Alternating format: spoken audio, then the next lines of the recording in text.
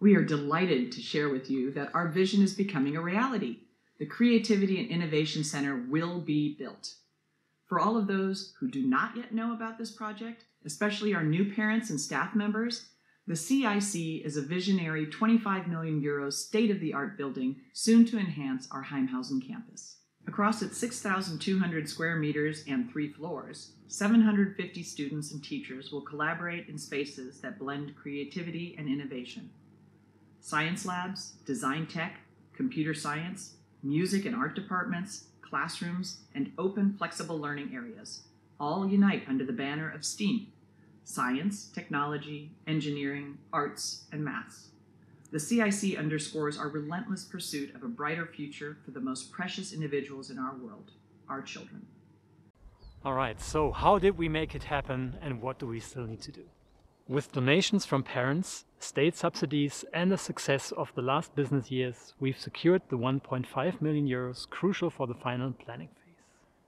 I'm extremely thankful for all the donors in our BIS community. Without your support, the next phase of the CIC would not be possible. We are finalizing our discussions with the bank and we make sure that we stay within our budget. The old sports hall will come down in Easter 2024 and the CIC will be built in its place by late summer 2026. As with all construction on our campuses, we will do our best to ensure a safe and productive environment. I'm thrilled to see the project come to life. I'm really excited about the CIC. I heard it is going to have modern classrooms, cool furniture, and brand new science labs and design rooms. We spend so much time at school that I think it is important that the building is modern and enables us to be creative. The new building will have lots of open, flexible learning spaces and will encourage us to work together on projects and learn from one another.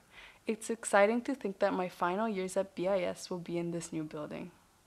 For the CIC to be truly cutting edge, future proof, and high end, we need an additional 1 million euros in donations for the interior and equipment. How can you do this?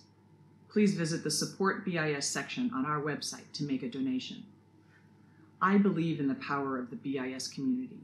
Together, we can make this happen. Please contribute to the future of learning at BIS for your children and for the next generation of global citizens and changemakers.